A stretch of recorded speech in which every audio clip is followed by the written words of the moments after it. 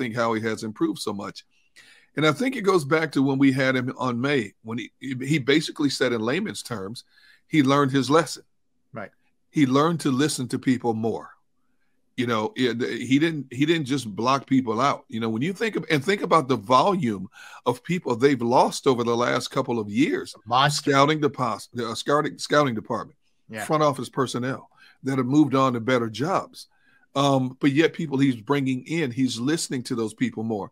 Hey, even hey, if you listen to your granddad, you you, you got to listen to everybody, right?